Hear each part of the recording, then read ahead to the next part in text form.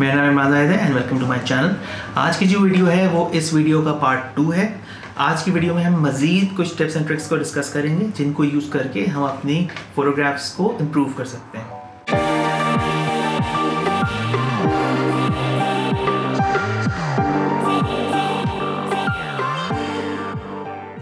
तो जो सबसे पहली टिप है, वो है using telephoto lenses for street और ट्रैवल फोटोग्राफी नॉर्मली जब हम स्ट्रीट फोटोग्राफी की बात करते हैं तो यूजली लोग 35 फाइव mm या 50 एम mm को प्रेफर करते हैं। और ये फॉर्मूला बहुत बहुत टाइम से सेट हुआ हुआ है। शुरू में जब ये जॉनर डेवलप हुआ था स्ट्रीट फोटोग्राफी का तो उस टाइम से लोग जो है वो यूजली 35 फाइव mm या 50 एम mm को यूज़ कर रहे हैं फॉर स्ट्रीट और इवन फॉर ट्रैवल फोटोग्राफी क्योंकि बहुत अरसे से लोग इन्हीं फोकल लेंस के ऊपर स्ट्रीट फोटोग्राफी कर रहे हैं तो प्रॉब्लम ये होता है कि आप कोई भी स्ट्रीट फोटोग्राफ देखते हैं या इवन ट्रैवल फोटोग्राफ देखते हैं तो वो आपको एक जैसी लगती है, क्योंकि सेम फोकल लेंथ पे खींची गई होती है।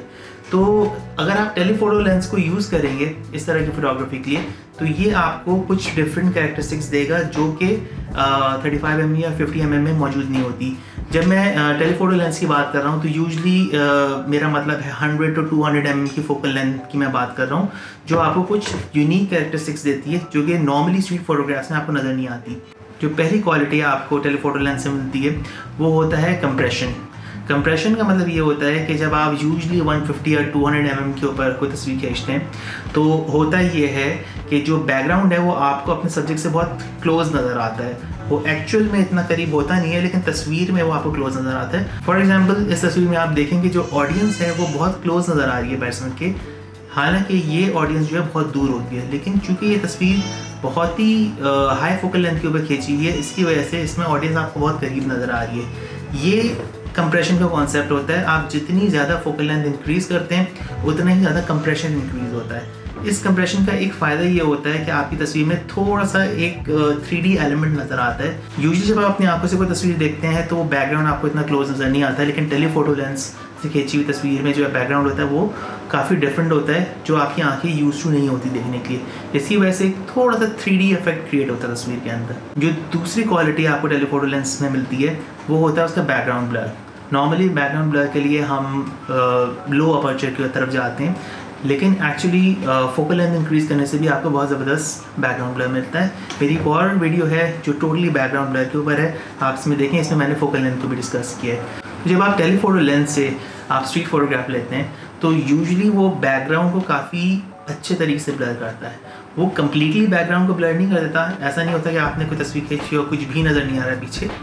नज़र स्ट्रीट का सीन नज़र आ रहा होता है, लेकिन वो काफ़ी अच्छे तरीके से ब्लर हुआ हुआ होता है। इस तरीके से ब्लर हुआ होता है कि जितनी भी डिस्ट्रैक्शंस होती हैं, वो ख़त्म हो जाती हैं और आपका सब्जेक्ट क्लियर कट नज़र आ रहा होता है।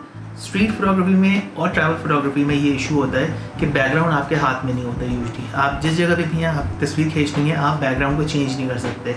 लेकिन अगर आप टेलीफोटो लेंस यूज़ करेंगे, आप लॉन्गर फोकल लेंथ के ऊपर ही तस्वीर खींचेंगे तो ऑटोमेटिकली आपका बैकग्राउंड जो है थोड़ा सा ब्लर हो जाता है, जिसकी वजह से आपका सब्जेक्ट ज़्यादा क्लियर नज़र आता है। ये दो क्वालिटीज़ जो हैं, जो आपको टेलीफोटो लेंस में मिलती हैं। ये आपकी तस्वीर को काफ़ी डिस्टिंग्विश कर देगी जो नॉर्मल स्ट्रीट फोटोग्राफ्स या जो नॉर्मल ट्रैवल फोटोग्राफी हमें इंटरनेट के ऊपर नज़र आती है। जो सेकंड टिप है वो है इंक्रीजिंग योर आई आई के बारे में एक मिथ है कि जैसे ही आप आई इंक्रीज़ करते हैं, आपकी तस्वीर में बहुत ज़्यादा नॉइज़ इंट्रोड्यूस हो जाती है और आपकी तस्वीर यूजेबल नहीं रहती। ये बात काफ़ी हद तक ठीक है, लेकिन ज़रूरी नहीं है कि किसी भी तस्वीर में थोड़ी सी नॉइज़ आए और उसके साथ ही आपकी वो तस्वीर बेकार हो जाए।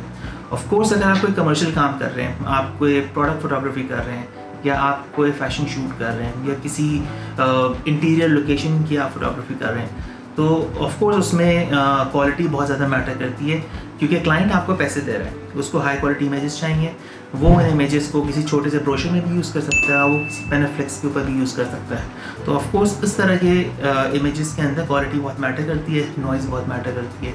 लेकिन यूजुअली जो हम डे टू डे फोटोग्राफी करते हैं, हम ट्रैवल करते हैं स्ट्रीट फोटोग्राफी करते हैं, उसमें नॉइज़ बहुत ज़्यादा मैटर नहीं करती। क्योंकि यूजली आप उन तस्वीरों को या तो फेसबुक पे शेयर करा रहे होते हैं इंस्टाग्राम पे डाल रहे होते हैं, या फिर आप अपने पोर्टफोलियो में इसको ऐड कर रहे होते हैं, ये तस्वीरें किसी मैगज़ीन के अंदर पब्लिश नहीं हो रही होती, या ये किसी होर्डिंग के ऊपर जो है नहीं जा रही होती। तो यूजली जब हम ये तस्वीरें खींच रहे होते हैं, और हम किसी ऐसी सिचुएशन में आते हैं जहाँ पे हम काफ़ी ज़्यादा लो लाइट होती है और हमें लगता है कि हमारा कैमरा जो है काफ़ी हाई आईएसओ के ऊपर खींचेगा। तो यूजली हम फिर वो तस्वीर खींचते ही है तो ये चीज़ हमें नहीं करनी चाहिए। आप तस्वीर खींचें। इवन आपको आईसो इंक्रीज़ भी करना पड़े। स्टिल आप तस्वीर खींचें। मैक्सिमम ये होगा कि आपकी तस्वीर में थोड़ी सी नॉइज़ इंक्रीज़ हो जाएगी। लेकिन नॉइज़ से तस्वीर की जो दूसरी क्वालिटीज़ होती हैं, वो ख़राब नहीं होती है। अगर आपकी तस्वीर में अच्छी कॉम्पोजिशन है तो नॉइज़ की वजह से वो कॉम्पोजिशन ख़राब नहीं होगी। अगर आपकी तस्वीर का कॉन्सेप्ट अच्छा है तो नॉइज़ की वजह से उस तस्वीर का कॉन्सेप्ट ख़राब नहीं होगा।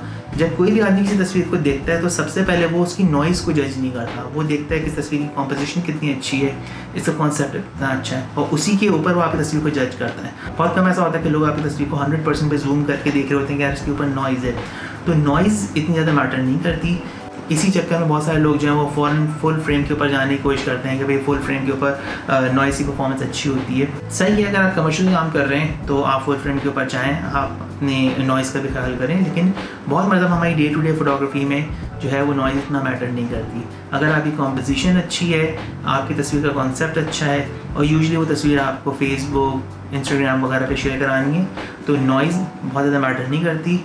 Also over the period of time जो कैमरा की जो सेंसर्स बन रहे हैं, उनकी टेक्नोलॉजी इंप्रूव कर रही है, जो उनके नॉइस रिडक्शन अलगारथम्स हैं, वो इम्प्रूव कर रहे हैं। तो आज से 10 साल पहले जो क्रॉप सेंसर कैमरा जो 800 या 1600 के ऊपर जो नॉइज़ देता था ऑफ़ कोर्स आज के कैमरों में वो नॉइज़ नहीं है। आज का आप कोई भी लेटेस्ट कैमरा उठा लें, पिछले दो तीन साल के अंदर जो रिलीज़ हुआ हो, उसकी अगर आप थर्टी टू हंड्रेड की भी पिक्चर देखेंगे तो काफ़ी यूजेबल पिक्चर होती है। लेकिन प्रॉब्लम ये कि हमारा एक परसेप्शन बन चुका है कि जहाँ तस्वीर में नॉइज़ आना स्टार्ट होगी, वो तस्वीर आपकी यूजेबल नहीं रहेगी।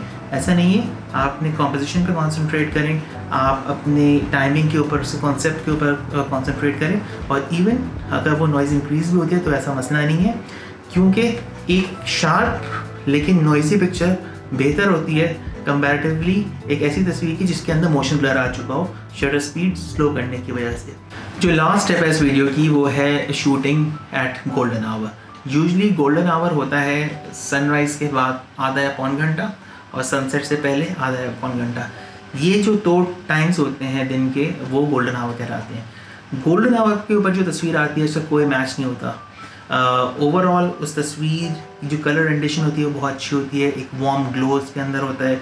जो लाइट की क्वालिटी होती है वो बहुत अच्छी होती है। ओवरऑल जो आपका आसमान है वो एक जॉइंट सॉफ्ट बॉक्स की तरह एक्ट कर रहा होता है। तो गोल्डन आवर में जो खींची हुई तस्वीरें होती हैं वो हमेशा बहुत ज़बरदस्त आती हैं इन टर्म्स ऑफ़ एक्सपोजर और इन टर्म्स ऑफ़ कलर्स और जो टेक्सचर उन तस्वीरों के अंदर आता है। तो हमेशा इस वाला ख्याल रखें कि जब भी आपको कोई शूट करना हो तो ट्राई करें कि वो शूट आपका गोल्डन आवर पे हो, चाहे वो सुबह के वक्त हो या शाम के वक्त हो। अगर आप कोई पोर्ट्रेट सेशन कर रहे हैं तो आप क्लाइंट के साथ या मॉडल के साथ कोऑर्डिनेट करें कि भाई सुबह के या शाम के गोल्डन आवर के ऊपर हम लोग ये करेंगे। अगर आप लैंडस्केप कर रहे हैं तो अगेन गोल्डन आवर जो है लैंडस्केप्स के लिए बहुत अच्छा होता है। इवन अगर हम ट्रैवल या स्ट्रीट फोटोग्राफी की बात करें तो गोल्डन आवर में जो खींची हुई तस्वीरें होती हैं, वो हमेशा बहुत ज़्यादा अच्छी होती हैं। अगर आप ट्रैवल कर रहे हैं कहीं तो मेक श्योर कि आप इस गोल्डन आवर को मिस ना करें। आपको पूरे दिन जो भी करना है इन्जॉय करना है आप करें। लेकिन अपनी गोल्डन आवर को ज़रूर प्लान करें। आपको पता होना चाहिए कि यार इस गोल्डन आवर पे मुझे इस लोकेशन पे जाके कुछ फोटोग्राफी करनी है। क्योंकि वहीं वो टाइम होता है जहाँ पे आपको अपने बेस्ट शॉट्स मिलते हैं। तो ये तीन आ, कुछ टिप्स थी जिनको यूज़ करके आप अपनी तस्वीरों को बहुत ज़्यादा इम्प्रूव कर सकते हैं। बहुत कम एफर्ट लगाकर। आप मुझे कमेंट सेक्शन में बताएँ आपके जहन में कोई टिप है? या आप वो टिप अपने इमेजेस के साथ आप मुझे ईमेल करें और मैं अपने नेक्स्ट पार्ट के अंदर उन इमेजेस को भी इंक्लूड करूँगा और आपकी टिप को क्रेडिट के साथ इंक्लूड करूँगा।